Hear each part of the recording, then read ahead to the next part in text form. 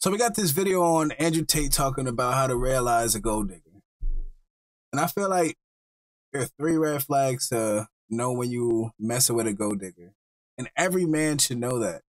When she only looking for money and something to eat, when she doesn't even remember anything about you, and if she sees you as like a tool, you know what I'm saying? Like she only wants you for your money. And I guess that goes like hand in hand with the first one, but like let's see what he says about it. I feel like those are gonna pop up. Maybe, maybe not, but let's just see. How do you tell whether a girl is a gold digger or just wants a nice lifestyle? It's a good question, but um, I don't I don't see why men are scared of gold diggers because they can't get gold unless you give it to them. Mm. You must be a total bitch to like accidentally get gold dug. Mm. Buy me this. No, fuck off. Mm. you must be a dummy. Yeah. And then also, well, a lot of guys aren't strong enough to say no, are they? Because maybe that girl is a little out of their league, shall yeah. we say? Yeah, yeah. So that's why it's it's not a no. That's another thing. And hold it's on, a gray on. area. Hold on, right? before because we even get started, I'm sorry, I'm not gonna be pausing in like every five seconds. But like, you know, there's like one one man to every five females in the world. So why why are y'all so afraid to like get rejected? Why are y'all so afraid to like, you know what I'm saying, lose that chance with one girl? I, I don't get it. I really don't. Also, I don't think there's anything wrong with a woman expecting a nice, nice lifestyle. I think it's all relative, right? If you're a normal person, or even a normal couple, a woman still wants her man to provide and protect mm-hmm. and, and work and pay for the house and the family. Women expect you to provide and protect. It's evolutionary. That's how we're designed to be. So I don't think a woman expecting a lifestyle from a man is a bad thing. If I was a woman, I would expect a lifestyle, that's for sure. Mm. And depending on your man's lifestyle, depends on the kind of lifestyle you mm. expect. And then it gets into a blurred line of people say, well, she's just with you for money. I'm like, well, if she's just with me because I take care of her problems and I make her feel happy and I make uh, all her stress and anxiety. That's just being a man for real. Fun with me. You're saying that with me for money. I'm saying she genuinely likes me because mm, that's what the, I provide. Because I provide. So all those things end up with her having genuine See, emotion for you. Mm. So unless it's like a straight mm. transaction, oh hold my like a day rate. Mm-hmm. Unless it's like a straight transaction, what happens is if you take care of a woman, people say she's gold digging, but if you take care of her, she'll genuinely love you because you're genuinely the person who gives her nice things and takes care of her and makes her smile, makes her problems go away. And then and then you look at it in the inverse. If she's with me only because of my competence and my money and my capability to bend the world and my power, and you're calling that gold digging, I call that genuine attraction. You look at it the other way around, and I'm with her because she's happy and makes me smile and she's gorgeous. Am I just with her for her looks, or am I do am I genuinely attracted to her? So and there we there we go. Look, see, I like how he put that into perspective.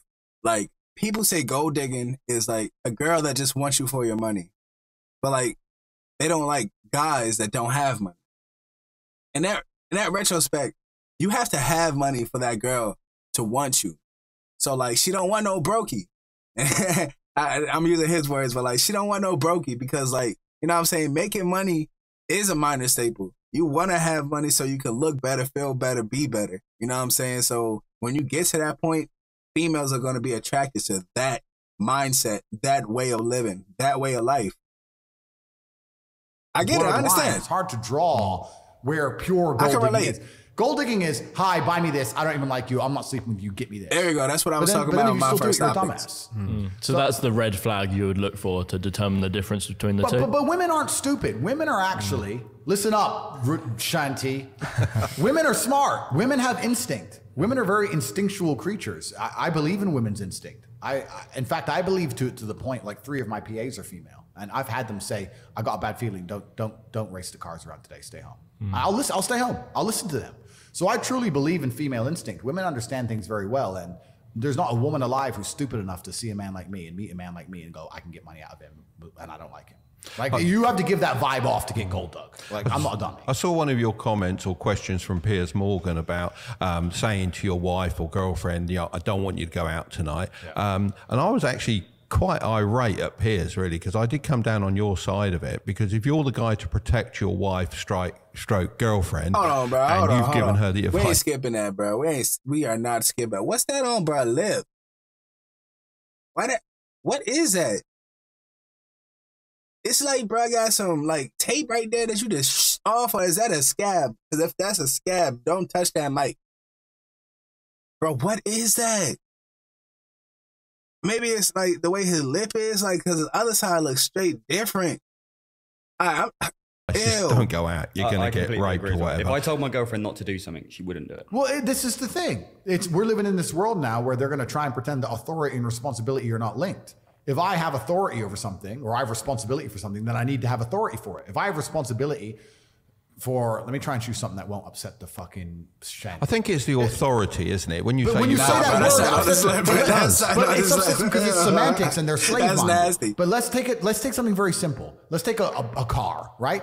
If I'm responsible for that car, means if I park it somewhere and it's not supposed to be parked, I am punished because I am responsible for that vehicle. Yeah. Then I must have the authority over that vehicle to be able to move it, to be able to sell it, keep it. I must have authority over it. You can't come along to me and say you're responsible for this, but you can't move it and you can't influence it. You hmm. cannot have responsibility of something you do not have authority for.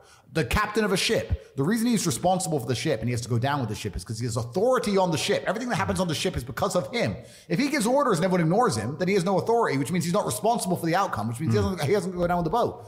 So trying to de-link responsibility and authority is ridiculous. If I am responsible for a woman's safety, then I must have authority to make decisions regarding her safety because I'm responsible for it. I think the issue comes when you relate it to a car and it's like that's an object, and then What else? basically the, Completely. the, the woman but, but being an else, object. But what else can I relate it to? yeah, no, that, that's fair enough. But th- I think that's where they're getting like the whole like, oh, Ball I own that That's person, works. and it's a sovereign completely. individual. Yeah, the But it's her choice to listen, isn't it? You're Well, not, you're Yeah, not that, that making her do authority is given. So It's a given. Mm. The, the- the slave mind has a mental breakdown because of the analogy I used, but they completely mm. missed the point. Mm. But yeah, the authority is given. If she were to sit and say to me, "I'm, I don't want to listen to you. You have no authority over me," I'd say that's fine. Then I have no responsibility for your safety. Enjoy your nice long walk in the middle of the night. If something bad happens to you, don't call me for that because it's nothing to do with me. But if she were to say, "No, Andrew, you're keeping me safe," I'll say, "Okay, then you're not going out." So it's a decision for her to make. It's not a matter of coming along and being a slave master. It's just understanding in the universe, whether it's a relationship, whether it's a car, whether it's anything, there's authority and responsibility, and they go hand in hand and trying to decouple them, mm. which is what they're trying to do in the modern world, and to say that you're responsible for everything, but you have no authority over anything. That's clown world. And that's what they're trying to slap on men now, especially in relationships and everything. You're responsible for everything, but you have no authority over any of it. Mm. Well, then how can I be responsible for something I can't influence? Oh, you know what? It's clown world. And you know is, what I see? You know what I see? I see it for some reason this last year or two. Whenever Andrew Tate is like interviewed by somebody, they seem to ask him questions that like anybody can answer, but I feel like they're trying to they're trying to just like trap him or something because like these are questions that like people already answered, people already know the answer to, or like don't even care about. They just want to they just want to make him sound wrong and stuff like this. They there's grown men that all should know the answer to like how, what a girl, what a gold digger is or something, but they coming at him because like the way that he is, and they trying to make him a misogynist. I can just see the colors in the paint, and it's crazy.